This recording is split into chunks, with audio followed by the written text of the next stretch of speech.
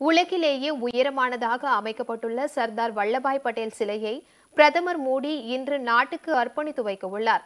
இதற்கான வண்ணமயமான விழா ஆடல் பாடல் என்று காலையிலேயே களை கட்டியுள்ளது.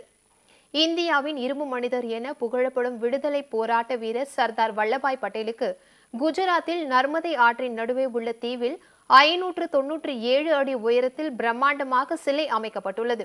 சுமார் மூன்றாயிரம் கோடி ரூபாய் மதிப்பீட்டில் சர்தார் வல்லபாய் பட்டேலுக்கு சிலை அமைக்கும் பணிக்கு கடந்த இரண்டாயிரத்து பதிமூன்றாம் ஆண்டு பிரதமர் மோடி அடிக்கல் நாட்டினார்.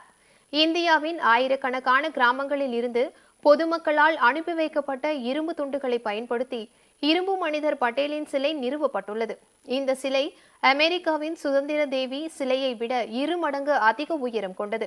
சர்தார் வல்லபாய் பட்டேலின் நூற்று நாற்பத்தி மூன்றாவது பிறந்த நாள் இன்று கொண்டாடப்படுவதை முன்னிட்டு அவரது சிலையை பிரதமர் மோடி இன்று பிற்பகலில் நாட்டுக்கு அர்ப்பணிக்கிறார்.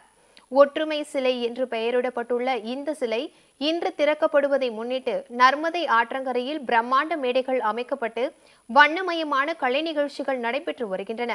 இசை நிகழ்ச்சியுடன் ஒடிசா பஞ்சாப் குஜராத் மாநிலங்களின் பாரம்பரிய நாட்டுப்புற நடன நிகழ்ச்சிகளும் நடைபெற்று வருவதை பொதுமக்கள் உற்சாகமாக ரசித்தனர்.